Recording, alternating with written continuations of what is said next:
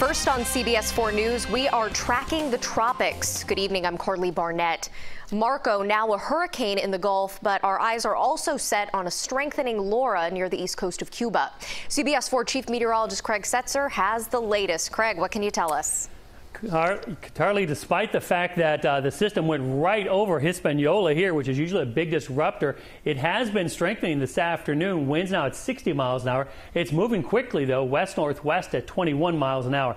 Now, here are the latest warnings. They extend all over Cuba. The Keys, especially middle and lower Keys, still under a tropical storm watch. Warnings have now been extended south of the Cayman Islands there because storm has gone much farther south. Here's the future track and the threat cone. Remember, the threat cone shows the yellow area. This is the area of the tropical storm conditions. The uh, uncertainty cone, the old cone right here, that is the outline of where the center is expected to be. It's quite possible now, once it gets uh, back over here, it's in the northern Caribbean Sea here for maybe 12 to 18 hours, so it could be a strengthening tropical storm as it moves along the south coast of Cuba there. That's the 2 p.m. Monday time position.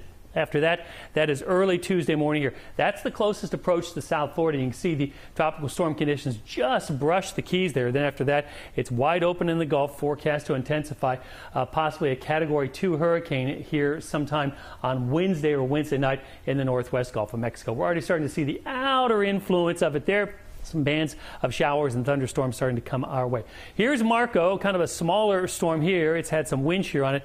Here is Laura, and it, it has a big, big storm envelope big round storm envelope here and it's just we really need to be thankful it is, took that track to the south remember we were talking is it going to go north of Puerto Rico or south of Puerto Rico it basically went just south of Puerto Rico which kept it along and just south of Hispaniola there if this was 150 miles to the north, tonight we would be looking at a strengthening hurricane headed towards South Florida, and we'd be really, really uh, concerned. That is not the case. It is south of us. It is going to stay south of us. This afternoon, hurricane hunters out there investigating. They found the center uh, located right about there, just to the southeast of Guantanamo, and found winds of about 64 miles an hour. So the intensity estimate set at 60 miles an hour. Here is the position it will be in 24 hours if it doesn't change its current track. Here are the forecast models. So it's forecast to slowly move a little more to the northwest, still well south of us.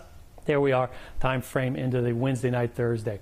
So here we go into time here. This is when we expect the worst of the conditions, the tropical storm watch, middle and lower keys.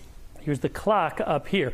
That's 5 p.m. tomorrow, and the tropical storm conditions just start to get into the lower keys 8 p.m., 11 p.m., and then 2 a.m. Uh, tomorrow night. 5 a.m.